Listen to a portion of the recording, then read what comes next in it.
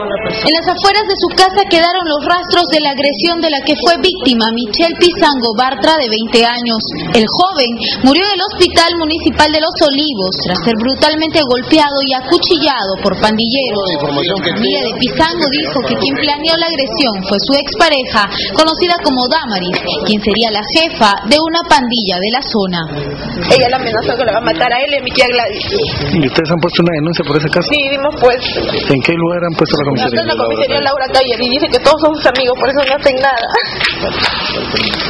Ella habría venido sola en compañía de otras Ella personas. venía con sus amantes, porque ella es una mujer de la calle. ¿Cómo se llama ella? Se llama Damaris. Según testigos, fueron los integrantes de su pandilla quienes llegaron hasta la casa de la víctima, ubicada en el lote 5 de la Manzana A, en la urbanización Santa Elisa, en Los Olivos. Lo sacaron de casa y lo atacaron con cuchillos y botellas en la puerta. ¿Y ellos qué manifiestan? Que no han visto No nada. que no han visto nada, que no han escuchado nada, que ni siquiera han sentido lo que se han roto el vidrio.